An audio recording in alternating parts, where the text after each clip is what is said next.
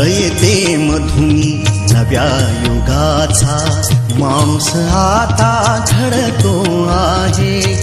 वटवृक्षाच्या विशालतेचा मोहन भाला पडतो आहे. रयते मधुनी नव्या युगाचा माणूस आता घडतो आहे वटवृक्षाच्या विशालतेचा मोहन भाला पडतो आहे. रयते मधून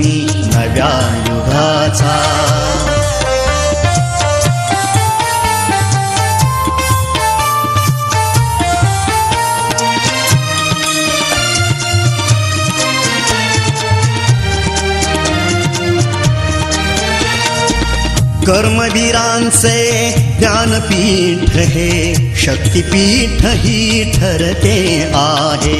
शाहू फुल्यांचे समानतेचे तत्वमानसी मूर्ते आहे।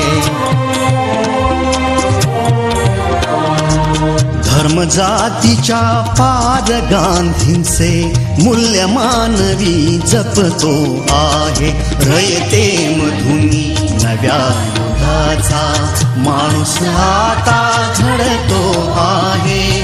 वटवृक्षाच्या विशालतेचा मोहन फाला पडतो आहे. रयते मधुनी नव्या युगाचा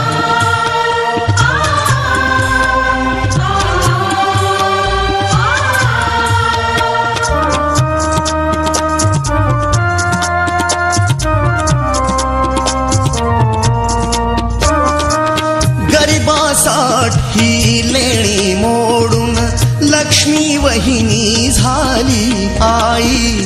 कमवा आणि शिखा मंत्र हा तरुणाईला प्रेरक होई.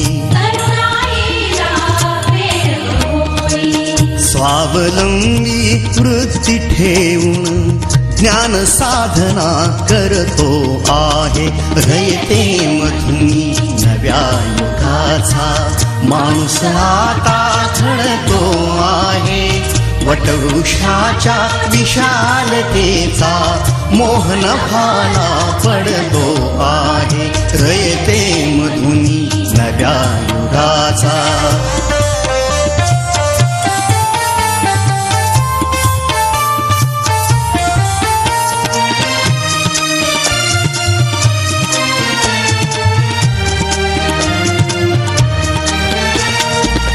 दलितांसाठी अण्णा तुमची झिजली चंदन काया अनाथ जीवा सदा लाभली मातृहृदयी तुमची माया.